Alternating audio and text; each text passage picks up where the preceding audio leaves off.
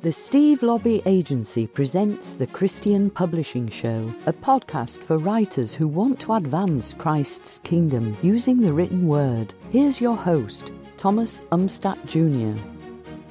Here on the Christian Publishing Show, we've been doing a bit of an audio push the last few episodes. And this is a really important topic. And if you haven't yet listened to episode 23 about the future of audio and podcasting, I really encourage you to go back and listen to that episode because audiobooks not only are the future, they also are the past. And I make the case for that back in that episode. And I made the recommendation that every book should be an audiobook. And I just left it at that. And I realized I kind of left some people hanging in terms of it's like, okay, I believe you. My book needs to be an audiobook.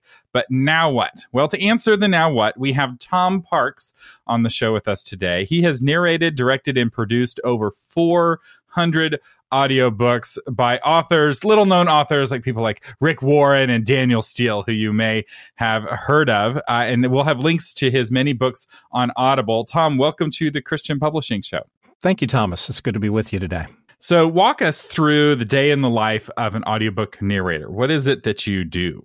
Um, wow. Um, so there, there's a lot of, uh, I guess, factors to that. I mean, the the actual narration of the book itself.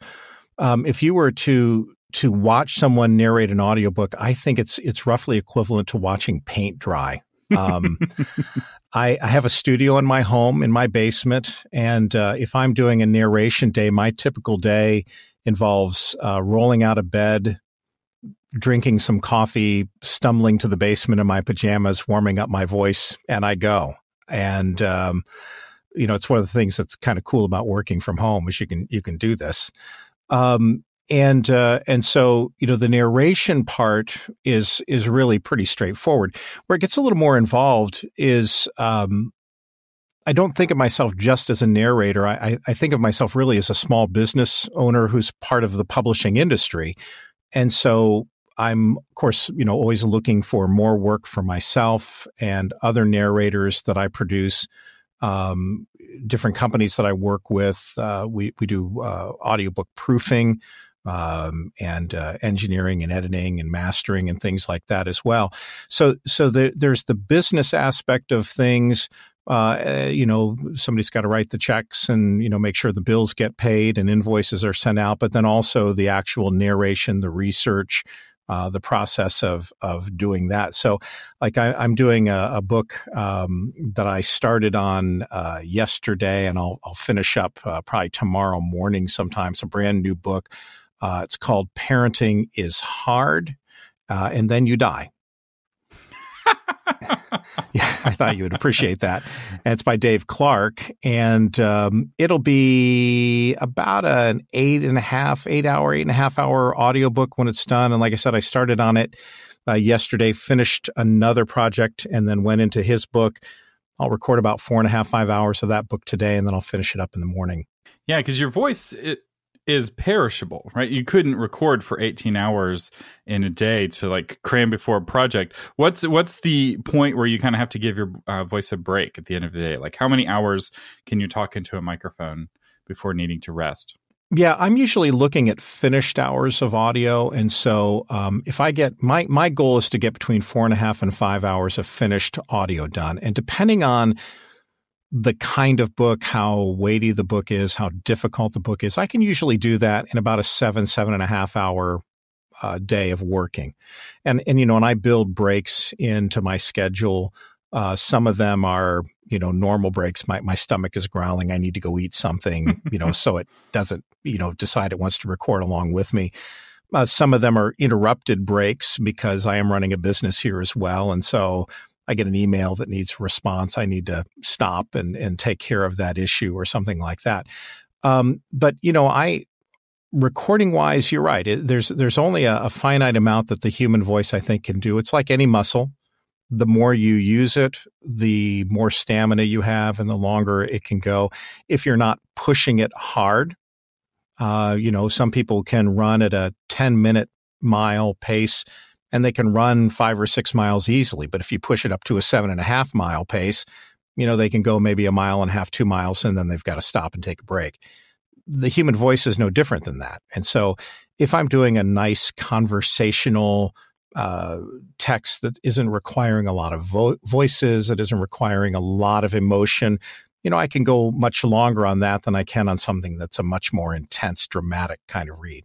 It makes sense. And your model of kind of being a solopreneur, uh, where you have your own studio, that's not like some people listening may be like, oh, that's so weird, you know, and they're thinking audiobook producer, they're thinking some like fancy LA studio with like somebody with very expensive glasses sitting behind the glass. And that's not what audio production looks like anymore. No, it really isn't. And I, I did my first book uh, in 2000, I can't remember if it's 2009 or 2010. And uh, I started in a, in a, with a company that's an audiobook uh, uh production company. And at the time, they had four studios. And I remember uh, there was a push with audio, Audible back in 2011 that they wanted to try to record every book that had ever been written. And um, so this this studio, which is owned by Amazon, um, increased the number of studios from four to ten. And for about a year, all ten studios were busy all the time. In fact, they were running some weeks two shifts. They had a morning shift and an evening shift where you could go in and narrate in the evening. And then about 2014, um, things changed. Um, Audible realized that trying to record every book is a terrible idea. We can argue more about that in a minute. Um, and uh, uh, uh, the price of equipment and things came down, and, and narrators uh, realized we can do this at home. Publishers realized it was very expensive to lease studio time or to fly narrators or, or authors. Uh, to their own studios to record. And so the home studio business really kind of took off. And now I don't have an exact number, but I, I, would say that you would probably find far more audiobooks today are being recorded outside of commercial studios than are being recorded in commercial studios. The the lion's share of what you're seeing done on a day in, day out basis is just like me. It's narrators. We've been around for a while. We learned how to narrate. Then we learned how to do the technology. We uh, created space in our homes uh, where we could do this. And um, this is where most audiobooks are being recorded now. And that's not just true with audiobooks, it's also true with voiceover actors. So even in LA, for the voiceover guy who's telling you what to watch at seven o'clock tonight, uh, you know, tune in. That guy, you may not realize it, but he's chances are recording from his home. Well, even radio stations. Um, you know, uh, uh, a good friend of mine is a station manager at a major uh, Chicago market Christian radio station, and uh, their guy who does their traffic lives in Denver and works out of his home. The guy who does their weather lives in California and works out of his home. And they record all that stuff and then they upload it, and it's part of what's happening at the station in Chicago. That's right. And what's driving this is the fact that the equipment has gotten so cheap. It used to be the reason you had to go into the studio is that there was $100,000 of equipment there and you couldn't reproduce that in your home. But most neighborhoods are actually quieter than most business districts, right? There's less ambient noise to filter out, especially if you're in a basement.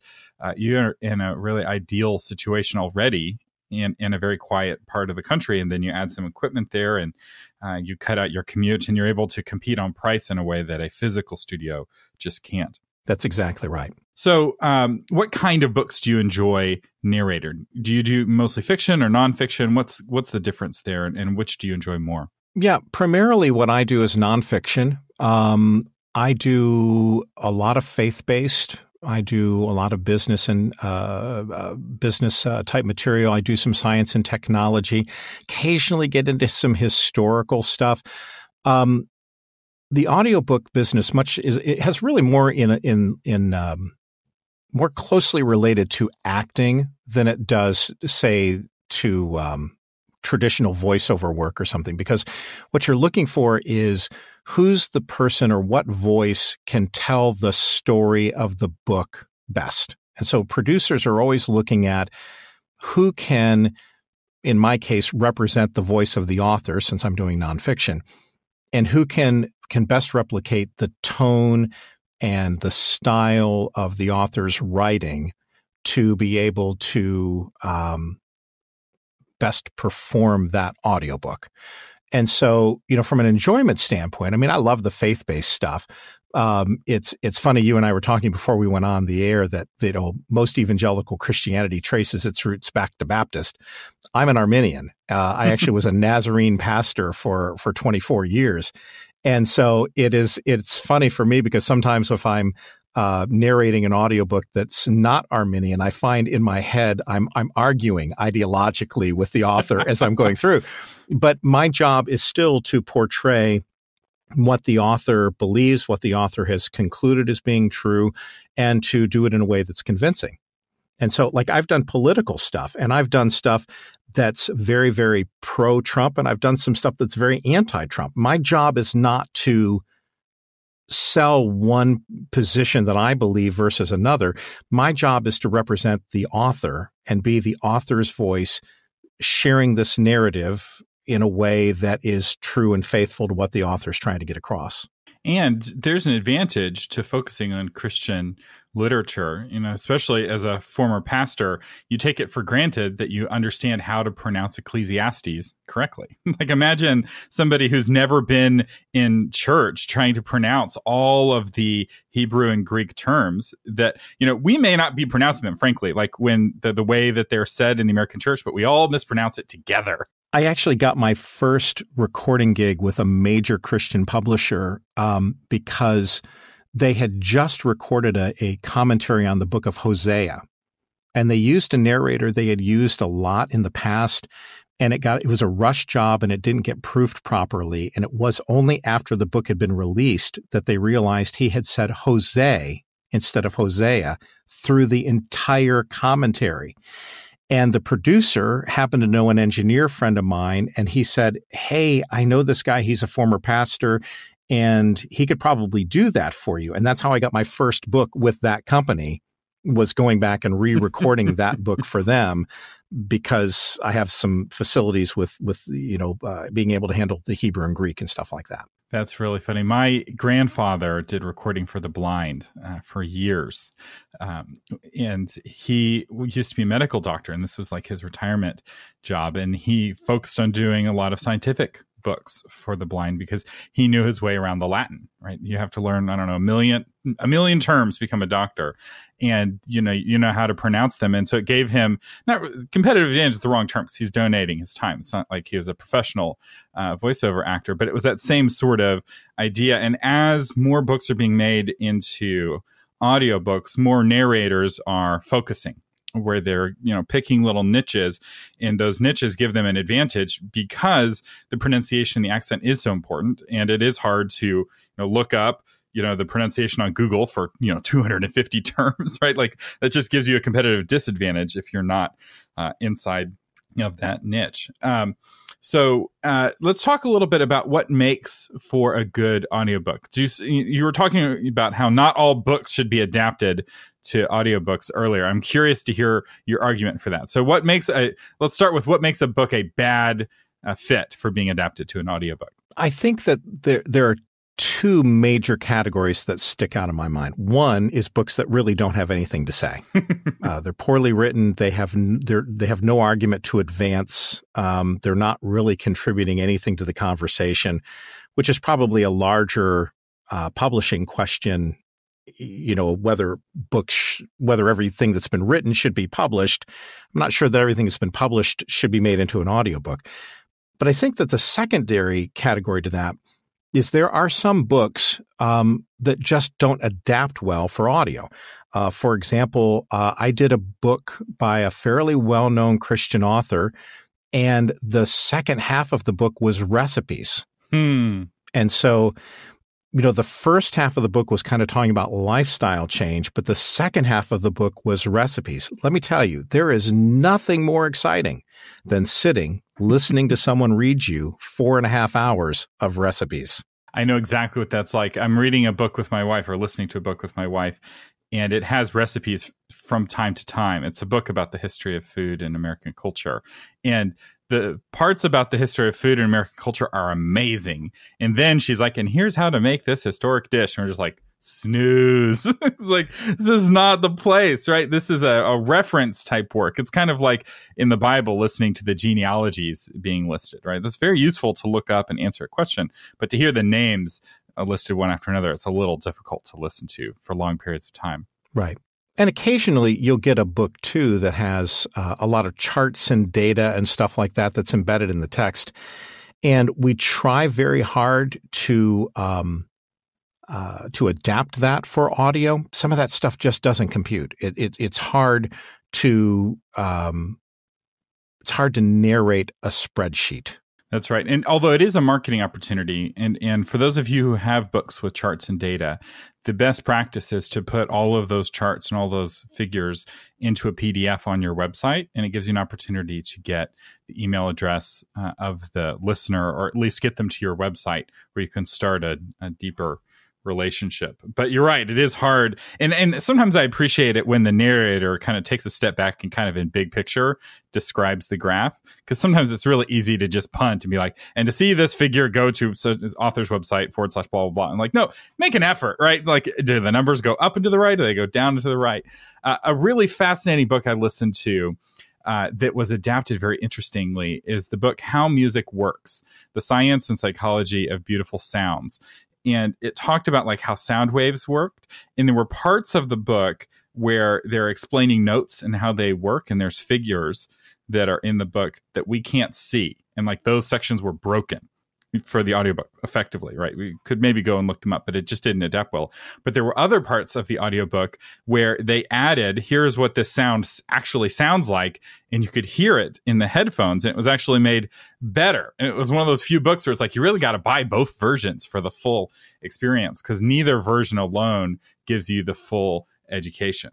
Sure. So, what makes a book good to narrate? So, we talked about what you don't like, like figures and you know recipes that make sense. What what uh, makes a book really fun to narrate, or a really good uh, fit for adapting to audio? I think that the books where the author has really allowed his or her personality to come through, um, really makes for a good book, and and a book that can take a nonfiction subject, but do it in a story form is outstanding. Um, I did a, a, book by Victoria Bruce called Sellout, and it's it's the story of it's the story of rare earth minerals.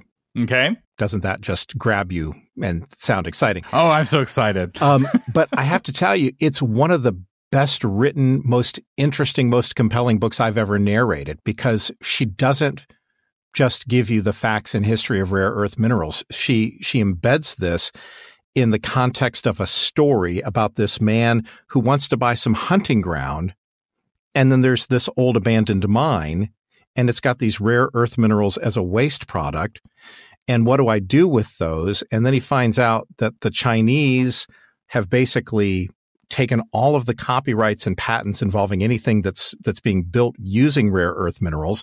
And so she develops that story and and lobbying of governments and history. And it's a, it's an incredibly well written book. It's the kind of thing that when you get done you think this could actually kind of be made into a movie and, and be like a decent movie. But it's a nonfiction book telling the story of rare earth minerals which on the surface sounds terrible it's really a very, very great book. Yeah, I mean, a great example of that is the book Moneyball, right? It's a book about not sports, but spreadsheets about sports. Right. it's like, oh man, sign me up. I can't wait to read a book about spreadsheets about sports. And yet, the book is a New York Times best-selling book. I read it start to finish. They made a movie about a, a book about spreadsheets about sports, and and the narrative really is what gave it power. And this, I think, is a really important principle for those of you listening who are still working on your book is find that way to work a narrative through what you're teaching nonfiction wise. And, you know, God did this with the Bible, right? Like the Bible isn't just the Ten Commandments, it also has a lot of narrative elements. In fact, the New Testament, huge uh, portion of it. And all the teachings of Jesus are baked into a narrative and uh, and a true narrative. And I, I, assume this nonfiction book about the rare earth minerals that was a true narrative, right? It wasn't a fictional hunting ground; it was an actual hunting ground. Like that was actual lobbying, right? And and it, it, it's so much better, and it's it, so much more competitive, right? Because I could look up the Wikipedia page on rare earth minerals, and I could find links to the court cases, and I could get the data faster online for free if I'm going to read your book, you have to provide something that I couldn't look up on Wikipedia. And that's a perfect example of how to do that. And if I can throw in one other thing when it comes to faith-based books, and this is the former pastor in me that's that's talking. You know, when when I was pastoring, I pastored a blue collar congregation of people who just didn't read. You know, these these are people who don't read anything. They don't read the newspaper, they don't read anything. And quite often when I'm reading faith-based stuff, I'm thinking this is good stuff, but it is written so technically that the average person that I pastored would never even make it past about page three or four. And so the things that, that, that the people are talking about, I think, especially in faith based publishing, are so vitally important that they have to be presented, I think, in the same way that Jesus did, as you said in the New Testament. It was through parables and the telling of stories and even the Pauline texts are still rooted in something that's actually going on in the lives of the church he was writing to. It was, it was, um, content, contextually specific to those groups of people that when they got those letters, they went, Oh yeah, remember he's talking about Bob here. Um, and and it was very relevant and remains relevant today. And so much of the faith based stuff that I record, frankly, uh, it's it's it's a little disappointing sometimes because I think, man, you've got a really good idea here, but it's it's so dense and unnecessarily so that it's you're going to have a hard time getting much beyond maybe a core audience of pastors who will be able to understand. If you're trying to reach laity, um, your your challenges are going to be that much harder. And I and I get frustrated with that because I believe in Christian publishing. I think that Christian publishing is so very vitally important to the ministry of the church as a whole. But we have to find ways of saying these things in ways that narratively uh, are going to engage the current culture that we live in, which is not just biblically illiterate, but in many ways reading less and less unless it has a strong hook to it um, to really draw them in. That's really good. And a great book to help you with this. And I use this as an agent uh, when coaching my clients. I've gotten incredible feedback. I've been using this book to train communicators for almost a decade, and it's made to stick why some ideas stick and others fail. And it's all about the science behind communication. And Basically, it took 2,000 years, but science has now proven that the way Jesus communicated is the scientifically superior way to communicate. So, if you want to hear scientists break down um, Jesus's communication style, like an understanding why the, the red letters are in red in many Bibles, this book, which is not as far as I know, written by Christians. And it doesn't talk about Jesus in every example, although it could. Uh, they, I, I, feel like they had to like ration themselves and use other examples other than just Jesus because it was a uh, more general market book. But it is incredibly helpful and it's got very specific tips on how to do exactly what you're talking about, how to take complex topics and make them simpler to understand. Because here's the beautiful thing if you do it well, you don't lose those pastors. The pastors can still understand the simply written um, work and still get benefit from it. But then you're opening yourself up to the bigger, much bigger audience of regular people, which is frankly the audience for almost all uh, books that I see. When I, I, get all these proposals, almost none of them say this book is only for pastors. Right? Some people write just for pastors, but the dream of most authors is they want to uh, write a book that is read by people, not just by superhumans or you know a- academic uh, readers. So, uh, what are now? you read books by uh, authors and who choose not to read their book or their publishers choosing not to read their book but some authors do read their own book for one reason uh, or another what advice would you have for them in terms of like uh, reading the book well yeah i think that um, the knee jerk reaction of the narrator in me wants to say don't, but I won't. Um, uh, no, I, I I work with narrators quite a bit, and I think that if you are thinking about narrating your own book, it certainly behooves you to bring in a director who understands audiobooks to work with you. Don't don't just run down to your church sound booth and say, you know, Skippy knows how to use Audacity and so let's record an audiobook. so much of what I'm concentrating on when I'm working with a narrator is how, again, can I get that person's voice to really be heard? Um, I had a, a, a, narrator, excuse me, an, an, author who actually came to my studio and narrated a book. Um, and she had done some books and they hadn't critically hadn't been really well received. And I went back and listened to some of her books and like there was no personality. And then I saw some YouTube videos and I thought, wow, she is a very compelling presence when she's on stage. When she is on stage, she has that room absolutely in the palm of her hand. She's a gifted communicator. And so when she came in to record, you know, I, I just kind of talked with her. I tried to make her feel comfortable and at ease and all of that. But I talked to her about how much I wanted to hear her voice. I didn't want her to come in and perform an audiobook like she thought it should be. I just wanted to hear her talk. I wanted her personality to come through. And, you know, we had three days together. And there were times when she kind of started slipping back into that old thing. But as a director, I could say, hey, you're, you have such a great story here. I love what you're saying right here, but I don't feel like I hear, I'm hearing you saying it. It's almost like you're just reading someone else's book.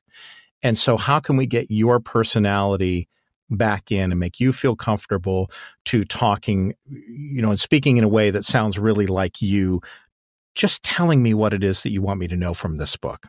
That's really good because the rules are different when you're reading your own book, right? When, uh, Tom, when you're reading somebody else's book, you have to be true to that book and you can't interpret it, right? Like that's breaking the cardinal rule of being a narrator, right? Especially if you disagree with it and you're kind of snickering at the book, like that totally breaks the rules. But if you're the author, it's almost like a, um, like a painting where the author will embellish the print. So there's a print version, but the actual painter will put uh, paint on that print canvas.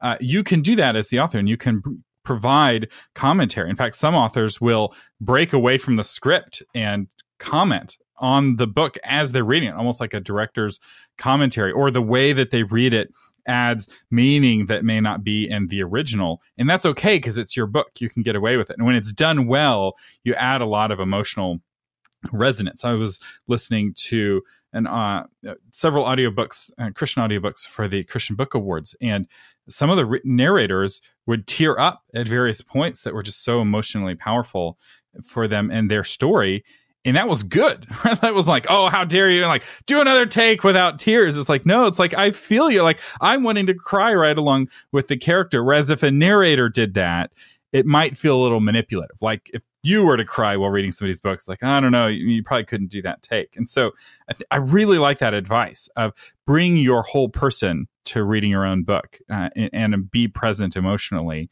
and I will say, as somebody who has read my own book, or and it was about some painful things in my life, that's hard, right? It's very, it's easier to bring that clinically detached, oh, these terrible things happen to somebody else's life, uh, but to read it with feeling. In some ways, you have to go back and revisit those painful moments of your past, and that can be difficult. Well, sure, and it, and it is exhausting. I mean, it's uh, uh, many narrators, uh, authors that I've worked with. When we get done with a day, will go, I had no idea. um, and I and I've had some narrators who, after they've done a book, have said, "Yeah, I'm probably never going to do that again," um, because it is very different, um, and vocal stamina is different. You know, we're always worried about mouth noises and things like that, and and uh, I think there are things that we as narrators just kind of do intuitively as we go through the process to take care of that. That when you're working as a as a uh, an author you don't think about, you're not aware of. And again, that's another reason why I think if an author wants to record his or her own book, it's really wise to uh, make the investment to be in a studio that understands audiobooks because it is different than recording music.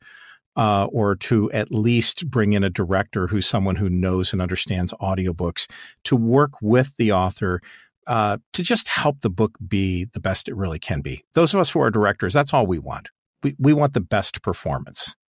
And, um, you know, we're trying to create an environment and give coaching that can help whoever the narrator is do that.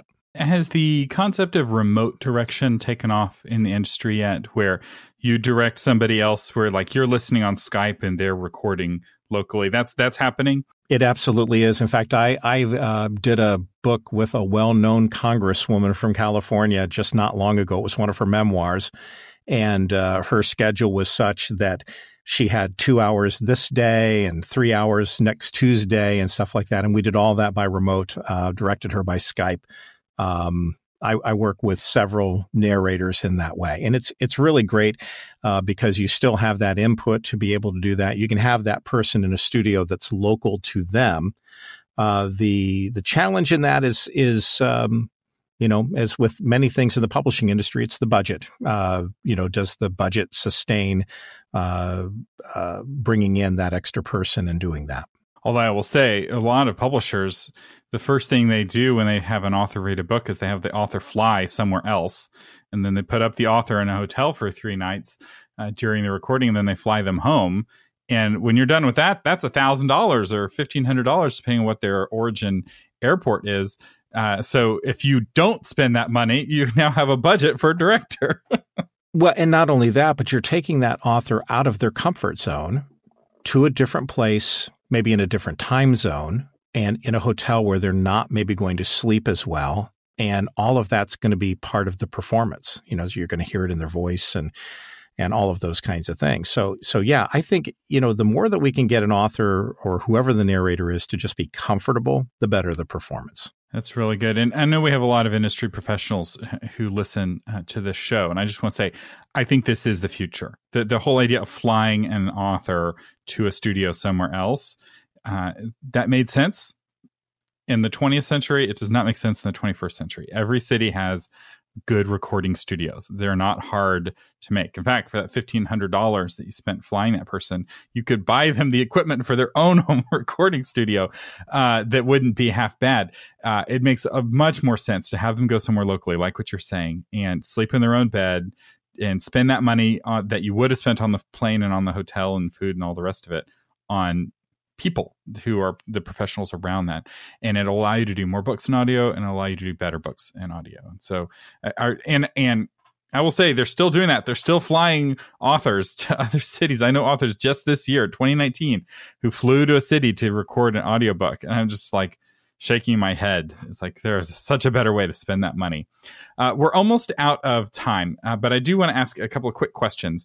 Um, what are some common mistakes that you hear new narrators make, whether it's a, an author or like the narrators that you're coaching? Uh, what are like the common mistakes? Um, not warming up properly. Um, not being consistent with their voices, uh, where where you can't necessarily tell where one day ends and the next day begins. Um, um, pacing, reading too fast. That's this is my probably the number one complaint in audiobooks is is uh, people who don't narrate audiobooks read way too fast when they're recording. Um, and so, you know, that's something that we're constantly trying to slow them down. And then the other thing is is coming in and trying to have like a voice instead of just being yourself. Most people listen to audiobooks either in their car or through earbuds. And if if I'm listening to you through earbuds, I don't want you yelling at me. I, I don't want your big booming voice. Just talk to me. Don't preach at me. Don't pretend you're in the pulpit. Just talk to me like I'm sitting across the table from you, or better yet, talk to me like your, you know, voice is six inches from my ear. How would you talk to me if if we were that close and you were telling me that information? Um, and so I think I think for authors just to kind of or, or narrators to just relax and just be themselves and have conversation uh, translates into a good audiobook, particularly in the nonfiction field, uh, where we're not thinking so much in terms of the drama of the performance of uh, character voices and things like that. Excellent. That was amazing. Uh, this episode of the Christian Publishing Show is brought to you by the Christian Writers Institute. And the course of the week is how to get published. This is one of our most popular courses, and it's one where yours truly teaches you how to go from being unpublished to being published. And I talk about both the traditional process of getting an agent and an editor and being published through a traditional publishing house and how to do it via the independent process where you publish yourself. I talk about the pros and cons of each, as well as giving you practical tips along the way. This course is only $20 normally, but you can save 10% with coupon code podcast at checkout or just click the link in the show notes. We have been talking with Tom Parks, professional audiobook uh, narrator and producer and we will have links uh, to Tom's uh, Facebook page if you want to connect with him there, and a list of all of his books on Audible. And real quick, Tom, are you accepting new clients? Like, if somebody wanted to work with you to read their book, are are you open to that, or do they need to go through like Audible Studios or something like that? Absolutely. Um, I do a variety of projects for authors directly. I actually just did one yesterday for an individual who purchased the rights to an out of print book, and they want it done in audio audio format and uh, recorded that yesterday. So yeah, there's there's all kinds of ways of working together, and um, this is the joy of being alive in this technologically connected age. Is there are resources to make it possible for individual authors who want their audiobook read and performed by a narrator to do that in a way that that doesn't uh, you know break the bank. All right, excellent. Well, uh, Tom, thank you so much for joining us today on the Christian Publishing Show. Thanks for having me. I hope you have a great uh, great day and great week. Thank you for listening to the Christian Publishing Show. For more information and to get episodes delivered to your phone automatically, visit ChristianPublishingShow.com.